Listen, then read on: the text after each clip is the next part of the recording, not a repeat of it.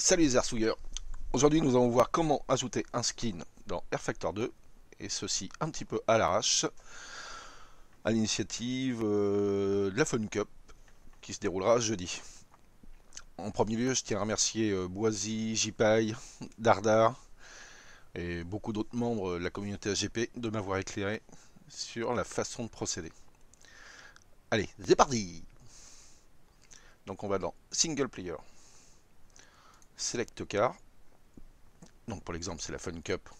On prend une coccinelle. On repère bien quelle équipe on prend. On fait Customize.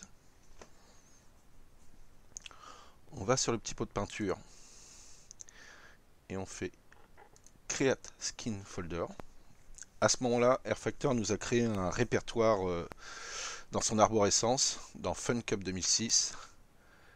Et le répertoire s'appelle Fun Cup ZZ101 ATL. On retourne arrière ici. Et on va aller voir le joli petit dossier qui nous a créé. Je suis maintenant dans le répertoire de Airfactor 2, dans Steam App Common Airfactor 2 User Data Player Sitting Fun Cup 2006. Je retrouve bien mon répertoire ATL. Celui qui est au-dessus, c'est un test précédent. On rentre dedans. On voit bien un fichier DDS avec le skin d'origine. Le fichier JSON, pour l'instant, il ne nous intéresse pas. Là, maintenant, je vais chercher les skins qui ont été préparés. Donc, pour l'exemple, on va prendre le magnifique skin de Papy que je glisse dans le répertoire nouvellement créé de Factor 2.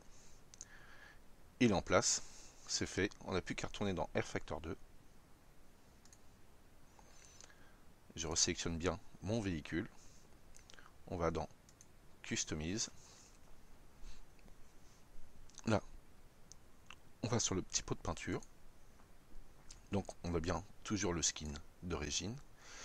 Et là ici dans Skin, on va aller sur la petite flèche de gauche on voit bien que c'est le Alt Papy, le skin qu'on vient d'ajouter, qui s'affiche. Et voilà les arsouilleurs. Le skin est en place. Ne pas oublier le jour de la course, lorsque vous allez sélectionner votre véhicule, donc bien reprendre le même modèle, et avant de rentrer dans, sur le serveur, de bien faire Customize et d'aller chercher votre skin.